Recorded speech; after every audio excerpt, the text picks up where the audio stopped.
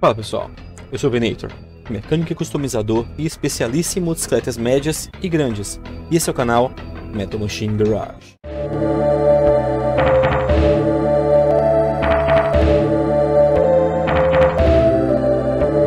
É isso aí, meus amigos, e vamos para mais um vídeo da Sunset, o projeto da nova motocicleta a diesel aqui do perfil, a nossa Sport Touring Retrowave AS500. No episódio de hoje, eu vou tratar de algumas modificações para a refrigeração líquida no cabeçote e tampa da Sunset. Bom, rapaziada, sem mais enrolação, vamos pro vídeo, solta a vinheta, tamo junto, é nóis, falou!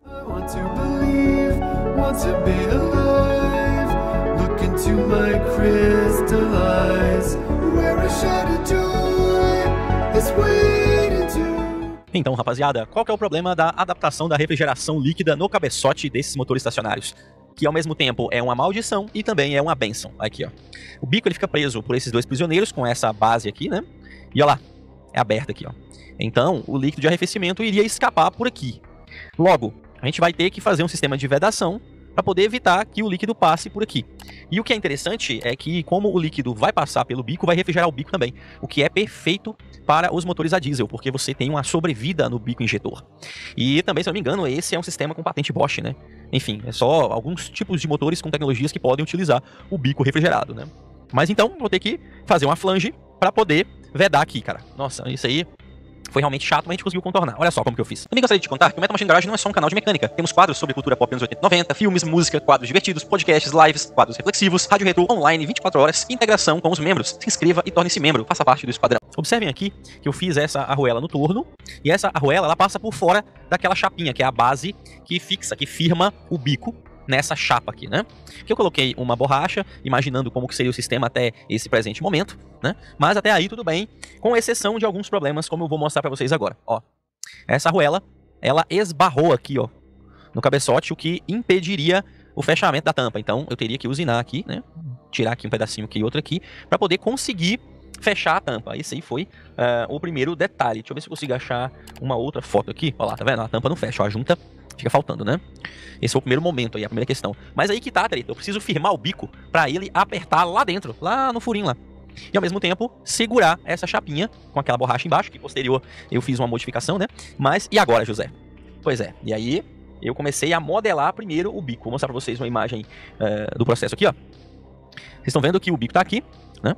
Claro que eu desmontei, deixei só essa carcaça superior dele, tirei o, o, retorno aqui. É, meus amigos, eu venho apresentar para vocês dois produtos impressionantes para correias. Essa é a pasta para correias sem rival, uma pasta antideslizante e antiderrapante indicada para correias de transmissão de qualquer espécie.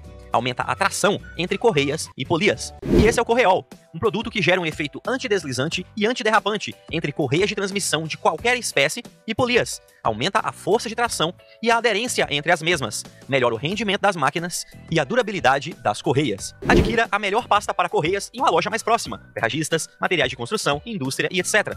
Para mais informações, confira diretamente no site da Vorraco, link na descrição. Obrigado! E eu fiz uma canaleta logo acima, no torno, como vocês estão vendo, fiz essa marquinha, etc. E vocês vão observar o porquê logo adiante. Aí, pessoal, essa canaleta de cima que eu fiz no torno, ela serve para eu poder colocar a trava elástica original, essa que ficava aqui embaixo, eu coloquei aqui em cima, tá? E aí o bico ele vai ficar travado aqui por cima agora, ao invés de ficar aqui na canaleta de baixo, beleza?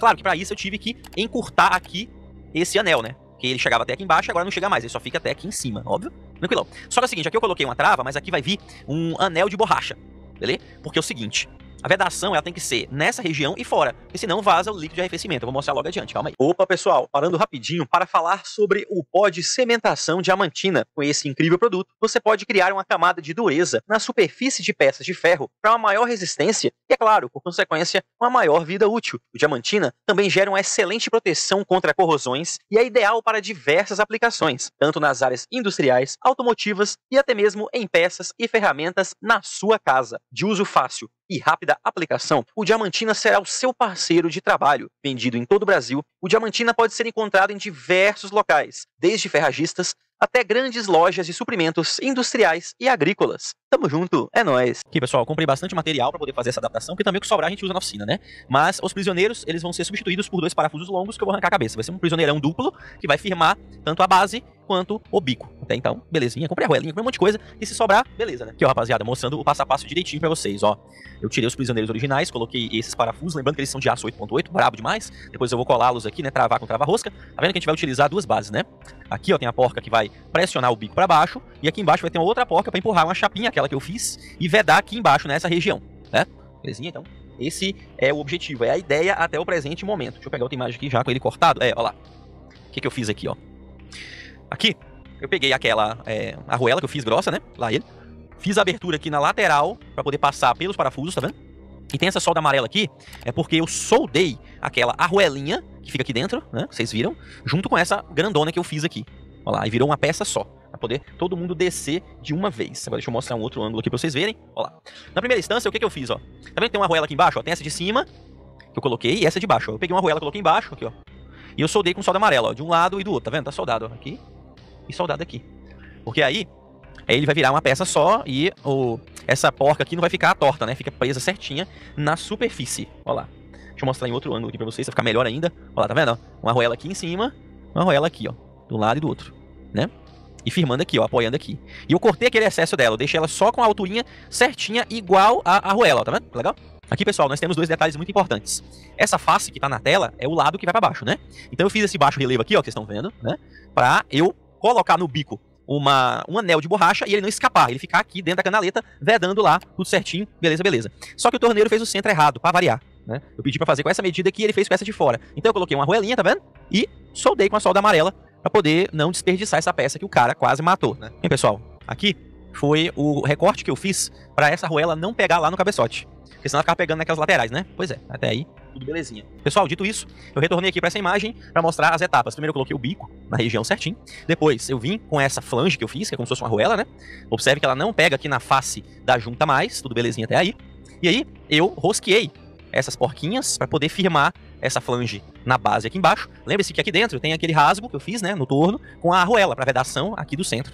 E aqui embaixo, pessoal, eu fiz em duas etapas. Nós temos um anel de borracha embaixo, como eu mostrei para vocês, e eu utilizei, né, ou no caso eu vou utilizar, porque aqui agora foi só demonstração, o forma junta semi-secativa branca 1204, tá? Se por um acaso vazar, aí a gente faz uma arruela, uma junta, né, redonda assim, parece uma arruelinha, de velumoide de 08, e eu coloco aqui embaixo com forma junta também, que vai vedar perfeitinho. E aí, a partir desse momento, a gente vem com a segunda fase, que eu vou pegar a imagem aqui pra vocês verem, ó, tá vendo?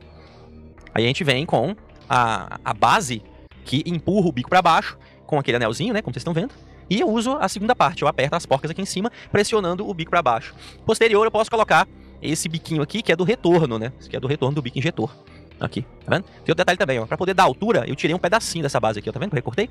Micharia de um lado e do outro, aí a gente tem mais espaço para subir e descer esse material aqui. E aí, dessa maneira, claro que com todos as, as, os aparatos aqui, né, as arruelas e materiais, uh, o bico ele vai ficar vedado e apertado devidamente. Pessoal, quando eu for fazer a instalação desse bico no motor, aí eu vou mostrar tudo na prática, bonitinho, porque eu realmente precisei mostrar esse procedimento na teoria para o vídeo ficar completo, porque senão fica pelas metades, o pessoal não entende. Aí combinando esse vídeo teórico e o prático, aí sim vocês vão conseguir executar com precisão, caso alguém queira vir a fazer esse procedimento. Aquele biquinho lá do retorno também, quando finalizar tudo, eu vou colocar trava-rosca nele, porque originalmente ele tem o trava-rosca, né? E aí a gente vai seguir para a montagem. Tem outros detalhes também que eu vou seguir, mas isso somente quando for a aula prática da montagem do motor da moto a diesel. E no mais, eu gostaria de agradecer aos membros do canal que estão ajudando ao Metal Machine Garage em nossa caminhada. Torne-se membro. Inclusive, você pode se tornar membro 3 ou mais e ter acesso ao grupo secreto do Metal Machine Garage no Telegram, onde diversos benefícios, como tutoriais, vídeos exclusivos, a minha consultoria e, é claro, o acesso ao Metal Machine Squad. Rapaziada, você ajuda, participa de evento, podcast, enfim, é muito legal. Peço que compartilhe esse conteúdo, se inscreva se você não for inscrito, clique no sininho para receber as notificações. Até o próximo vídeo, pessoal. Tamo junto, é nóis, falou.